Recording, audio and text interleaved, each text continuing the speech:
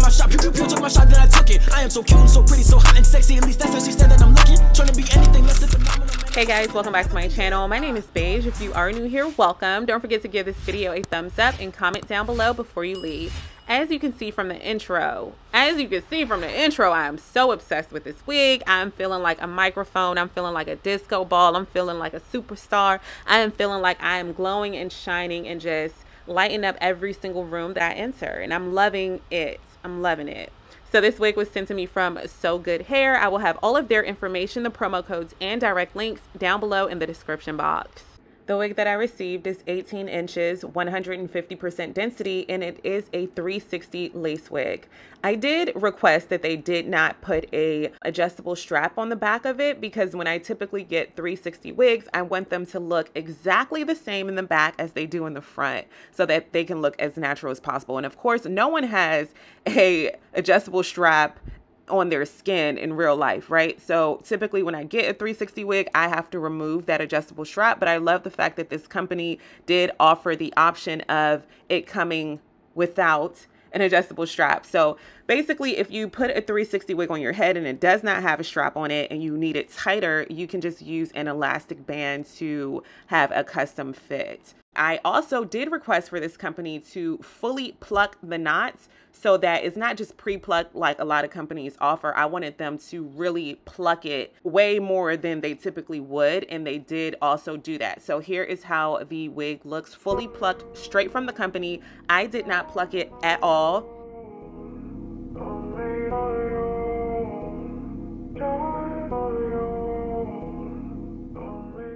So in the back of the wig where the nape is, which you're seeing right now, the hairline does look natural. However, I feel like at the very base of it, it is very full right there and I'm just going to grab my tweezers and just tweeze away a few of those hair strands just so that it could look a lot more natural. Of course, the whole idea of a 360 wig is so that the back can look as natural as the front. Everything that is done to the front has to be done to the back and everything that is done to the back has to be done to the front so that it is a perfect circle of symmetry, right?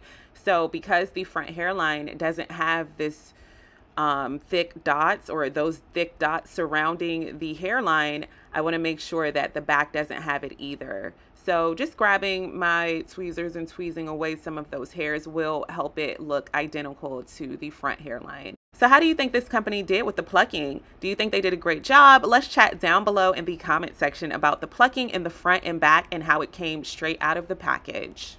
The knots of this wig are also bleached as well. Okay, so here is how the back hairline is looking or the nape area of the wig. It looks so much better now that I did remove some of those hairs from the very edge of it. I love it. I'm obsessed with how the back is looking.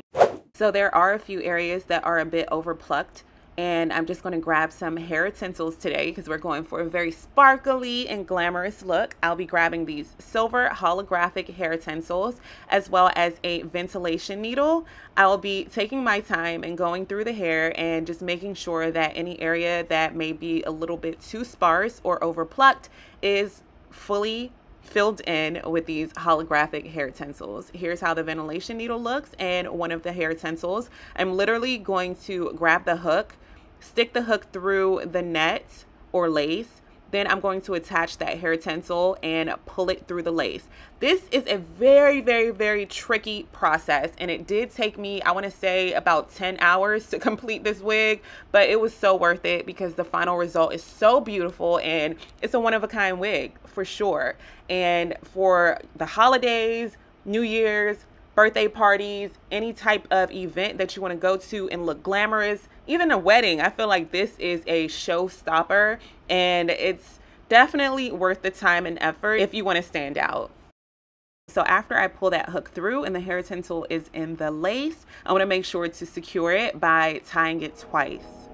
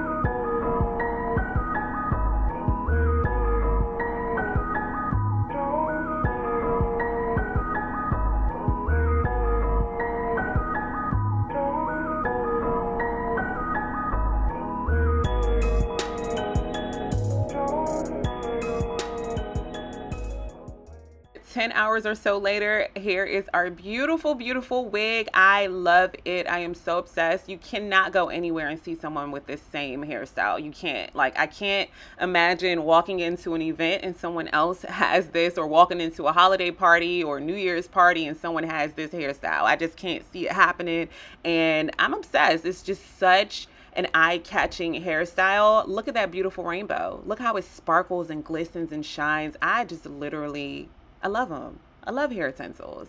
And I think that this hairstyle is going to come out so cute. So let's get started with styling. Grabbing the first section of hair, I will be applying a hair serum to the section and then I'll be flat ironing it. I'm going to take my time and just really go over each section with my flat iron until it is bone straight. And yes, you can curl and flat iron hair tinsels.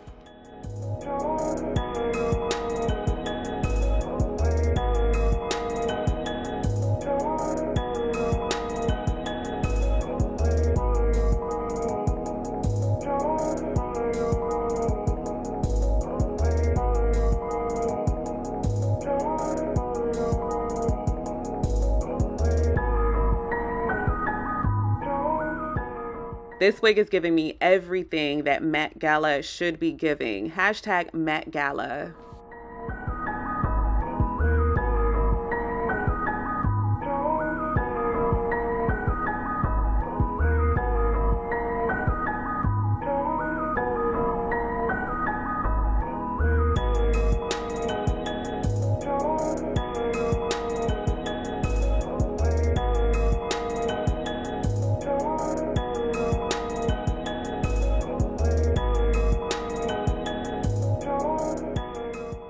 So it's now time to install the wig. The first thing that I'm going to grab is alcohol and I'm going to clean off my forehead with this alcohol.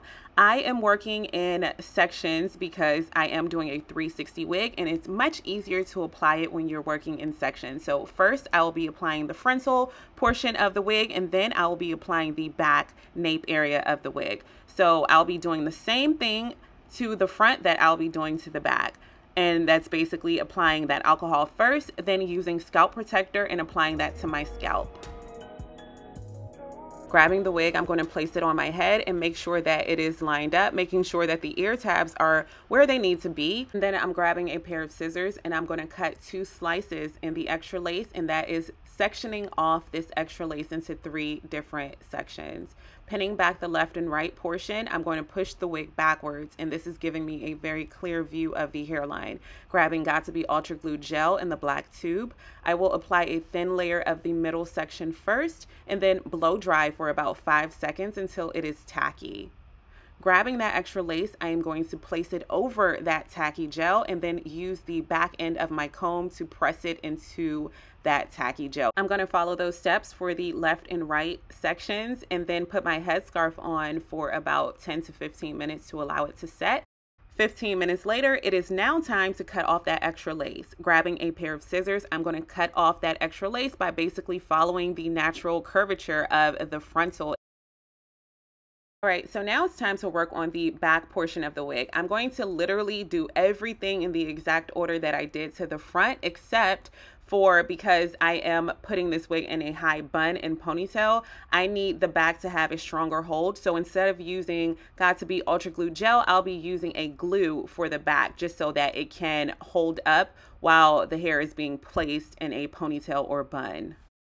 So pulling down the wig in the back, I do see that my nape area is longer than the nape of the wig, which means that my hairline will be showing through the wig. There are other options that I can do, like shave my nape down so that it can be, you know, identical to the wig's nape I can cut those hairs down with scissors or I can just choose to do baby hairs on the wig and that will kind of hide the fact that my hair or kitchen naps in the back are showing. But I'm going to choose to just put the glue directly on my hair and I don't mind because I do have a very powerful lace glue remover spray that I do use whenever I am wearing wigs and I have glue to adhere them down and it never damages my hair. It does release that glue and lace and my hair is never damaged. So I'm just going to brush my kitchen naps up and pray for the best, y'all.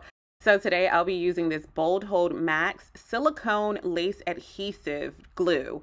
And I have used this before. It is not the easiest product to work with. I love the fact that it is clear and it is waterproof. However, I do not like the fact that because it is a silicone adhesive, it's very stringy and hard to apply.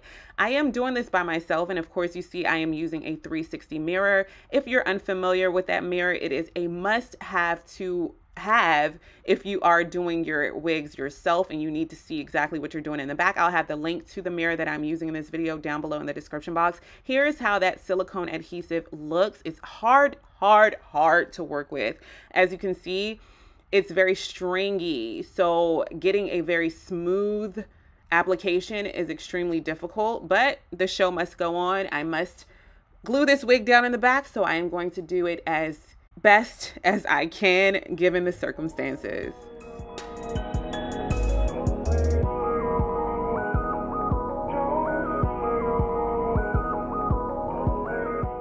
Now that that lace is down onto the glue, it's time to cut off that extra lace. Grabbing my scissors, I'm just going to carefully go along the hairline and remove that extra lace. Now, of course, because my hairline is showing through the wig, I am going to add baby hairs to this wig. Baby hairs are always optional. You do not have to add baby hairs to any 360 wig, but I love the way that Nape baby hairs look anyway. So I'm just going to grab my scissors and cut away some of the length from the bottom portion of this wig. And then I'm going to grab my curling iron and I'm going to first do like a spiral curl on the left and right sides because I like how that looks. And then for the middle of the nape, I'm just going to curl that baby hair under. Ooh la la, I'm loving how this is looking already. To mold my hair into a high ponytail, I'll be using cock grease. I'm also going to use this to keep the baby hairs down, but I'm using cock grease in the back just to have a separation of the baby hairs and the hairs um, you know, above it. And then I'll be using cock grease in the front as well to help mold it into that ponytail. And here we are. Here's the finished look. Thank you so much for watching. If you have any questions, don't forget to leave them down below in the comment section. If you're new here, don't forget to turn that post notification bell on turn the post notification bell on and subscribe down below as well. I'll have all of the information, the promo codes, and direct links to this gorgeous 360 wig from So Good Hair. The links and everything will be down below in the description box. What do you think about this wig and where would you wear this wig to? Let's chat down below in the comment section. Thank you for watching my channel. I'll have more videos posted weekly. Let me know what you want to see down below in the comment section and I can't wait to see you all in my next video. Bye guys.